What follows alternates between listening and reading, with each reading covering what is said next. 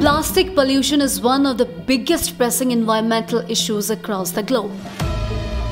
From ocean to mountains, huge amounts of plastic waste are dumped in the environment. Today, microplastics are increasingly found in the natural world, contaminating the entire planet.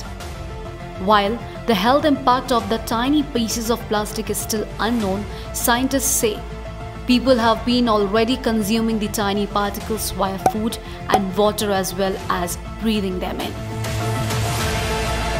Every day, approximately 8 million pieces of plastic pollution find their way into our oceans. 12 million tons of plastics are poured into the ocean every year. Scientists have recently discovered microplastics embedded deep in the Arctic ice. There may now be around 5.25 trillion macro and microplastic pieces floating in the open ocean.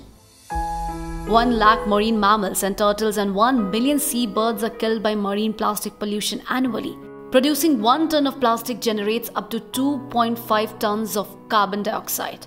Every year, millions of tons of plastics are created using fossil fuels, and then the plastic enters the environment and breaks into tiny particles, which choke marine life and the food chain.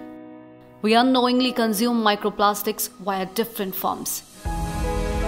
As per a shocking analysis released by the environmental charity WWF, on average, people consume and breathe in up to 5 grams of plastic per week. Scientists recently discovered that plastics exist in the body. Humans may have been ingesting plastic through food, drinking, and breathing for many years. In 2019, there were 460 million tons of plastic consumed, which is twice as much as 20 years earlier and only 10% of it was recycled. In fact, one hypothesis says that these microplastics could be responsible for human health and certain syndromes.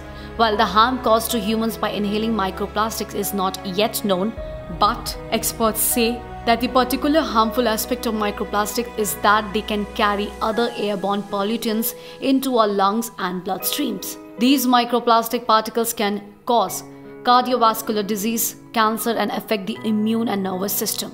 A study published in the journal Environmental Science and Technology concludes that an average person eats approx 50,000 particles of microplastics a year and breathes in about the same amount. The question here is then what can we do to minimize the plastic from nature? The most obvious action is to not throw plastic away in the countryside but there are also other ways to avoid both plastic and microplastic pollution. For instance, the most welcoming step in this direction is India's total ban on the sale and use of single use plastics, as these disposable plastics hold the major share of plastics across the globe.